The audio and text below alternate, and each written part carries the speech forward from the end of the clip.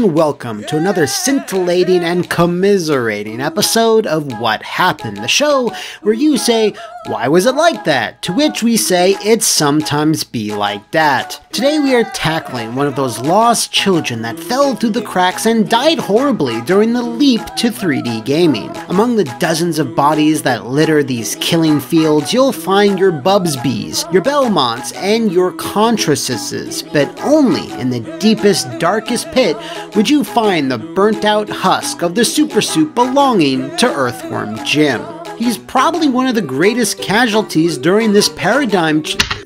is that the term? Paradigm? Paradigm shift?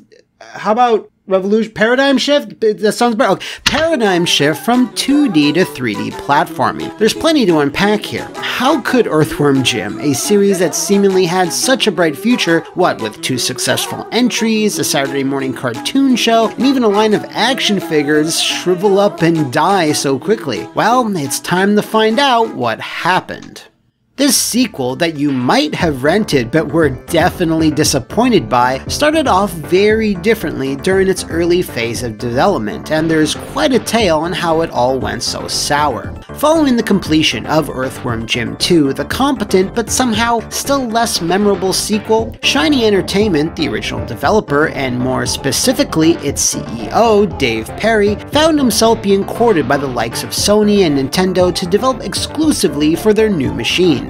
Rebuffing those offers, he decided to accept a buyout from Interplay, while still managing to keep Shiny's name and autonomy, and allowing them to make what they want. Another mandate that Perry instituted was that they would have a strict no sequels policy, as Shiny wanted to surprise players with every game, regardless if their titles were successful enough to warrant it. They then developed MDK and Wild 9 for the PlayStation, which, while certainly solid titles, didn't manage to capture the magic of the tiny earthworm that was blessed with the power of a thousand Jesuses. Dave Perry did one more thing that was uh, very unusual. Figuring that Shiny didn't need the Earthworm Jim IP to succeed and wanting to focus on the future, sold the rights to the franchise to Interplay as a pot sweetening bonus. A um, move that he admits was somewhat regrettable. Selling the rights to Earthworm Jim to Interplay was the dumbest move of my career, he lamented in an interview with Kikizo. Well, that'll learn you. And that's saying a lot, because this is the same guy that launched Gaikai? This deal with Interplay is why you saw Jim pop up in the critically lauded and respected EVO main stage attraction, Clay Fighter 63 and a third.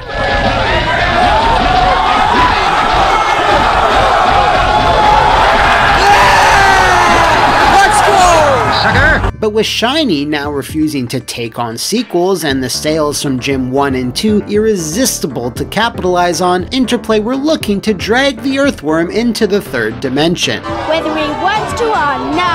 Enter Vis Interactive, a Scotland-based studio which only had one title to their credit, H.E.D.Z. for the PC, which I personally call out anybody to actually remember. Information here gets a bit murky, but I was able to speak to a developer who worked on Earthworm Jim 3D who can give some insight into how things got so very what happenedy. Vis Interactive were a very young company, were ran by a persuasive character by the name of Chris van der Kuyl. The fact that Vis ended up with the license is down to his charm, I'd say, and when I joined, there were only a very small number of staff with any real experience making games. For most folk, like myself, this was the first big project we had worked on. There was a lot of inexperience, and I couldn't believe we were making an Earthworm Jim title, to be honest. Now, remember two minutes ago when I said the version of Earthworm Jim 3D you, or a very, very few of you actually played, started off quite differently? Well, it's time to dissect that particular worm. The canon version of the game that was sold in stores saw Jim minding his own business before a cow comes careening down on top of him, as they do, which proceeded to scramble Jim's four brains. A joke the games never really touched upon, but the cartoon series certainly did. Brain, Brain freeze! Jim then had to splunk deep into the depths of his own minds, needing to unlock each one by collecting golden udders, which are legally distinct, the best type of distinct, when compared to power stars or jiggy pieces. When the developer I spoke to first got hired by Vis and was assigned to Jim 3D, it was already in production, but all the setup that I just set up, well, it wasn't the original vision.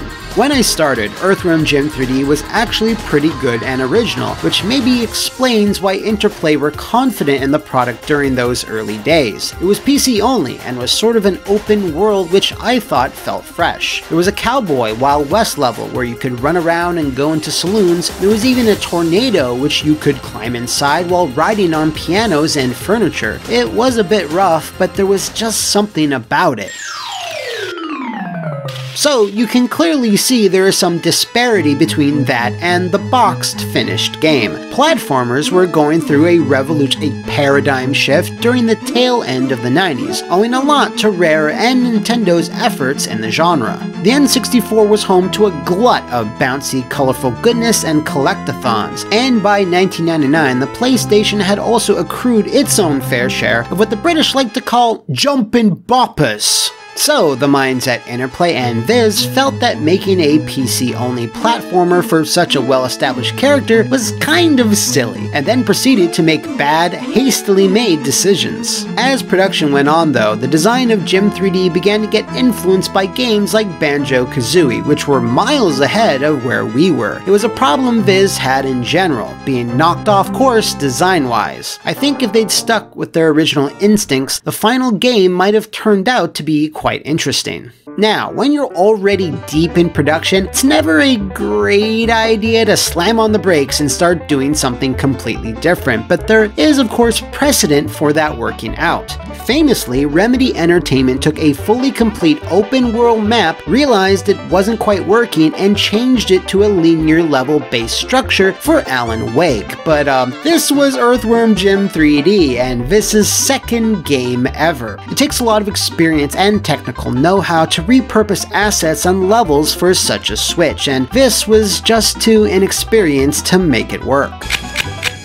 You let me down, man. Now, going back to those hastily made decisions, Interplay then mandated that N64 and PlayStation ports needed to accompany the PC version, and instead of doing the uh, normal thing, which is to hire another studio to make said ports, they assigned Vis to make them as well. Now, remember H.E.D.Z.? Of course you don't, but like previously stated, it was the developer's only other game, and it was a PC exclusive. Vis had never worked on the N64 or PlayStation station prior to this. And man, I, I smell the same stinky aura which permeated Bubsy 3D's developmental slaughtering grounds. What really killed things was when development shifted from just focusing on a PC version to making N64 and PS1 ports concurrently. We just didn't have the capacity, and the hardware limitations of the PlayStation in particular meant most of the open world levels were scaled back, and as time passed, a lot more features were cut. During this this really temperamental time, Shiny staff, including Dave Perry, visited the studio to see what Vis was up to, and, uh, like the professionals they were, reportedly made it very visible they were displeased. Well, maybe you should have thought of that before you implemented a absolutely no sequels policy, Dave. While Shiny undoubtedly had their own project at the time, maybe instead of just having a moan, why not give this some constructive feedback or maybe loan out a member of their staff to guide the project a little more closely than not at all. That might have helped a bit more than, you know, just being salty. What, is that it?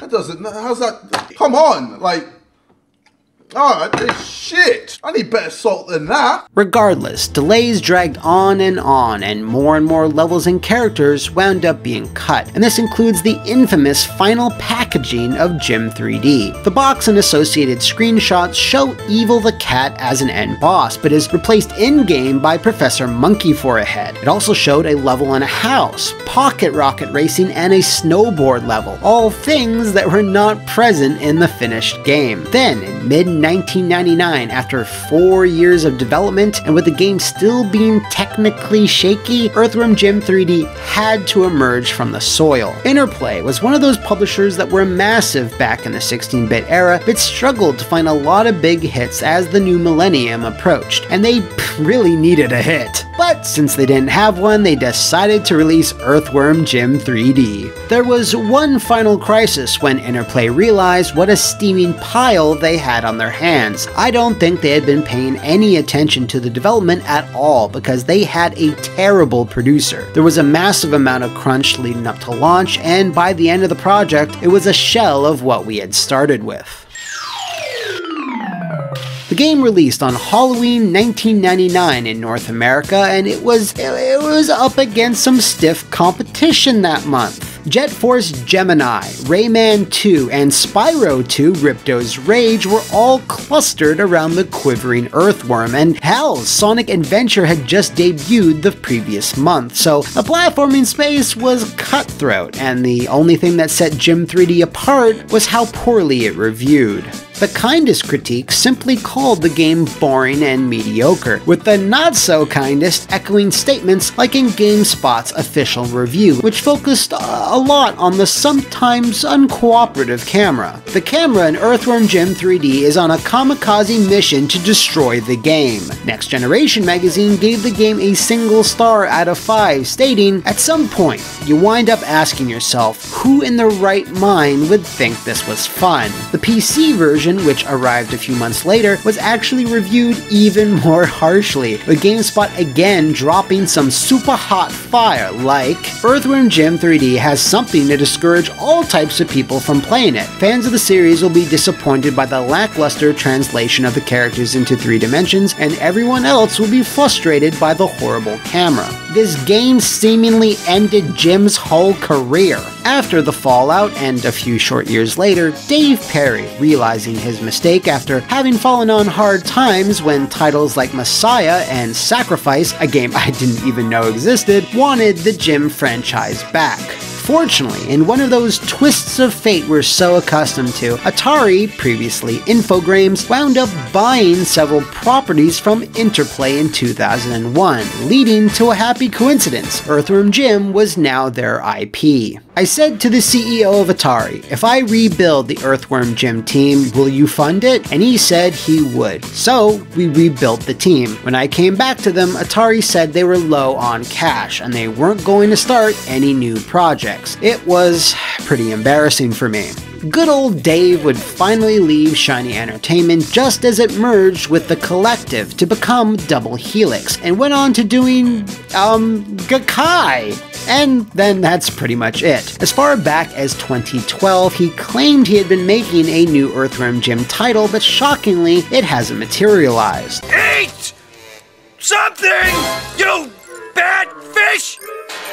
This, I'm sure they must have closed down after Earthworm Jim 3D Interactive, didn't close down. In fact, they went on to make State of Emergency for Rockstar Games, Evil Dead Fistful of Boomstick for THQ, Narc for Midway, and returned to 3D platformers with the often forgotten but surprisingly solid Brave in 2005. They were sold to BAM Entertainment later that year, but unfortunately were shut down in 2007, technically outlasting Shiny Entertainment by a year. Thus ends the ballad of the spacefaring superhero's video game career, at least for now. There were a few HD ports scattered about, some cancelled titles here and there, and there was some type of announcement of a brand new Jim title coming exclusively to the Intellivision Amico. Amico? But, Oh lord, I I need a break and a lot of strength before I talk about that. If you know of any other floppy video game or movie foibles, shout it out in the comments below or inch your way to the Patreon to nominate the subject of a future episode. See you next time, you pulsating, bloated, festering, sweaty, pus-filled, malformed slug for a butts, and thanks for watching.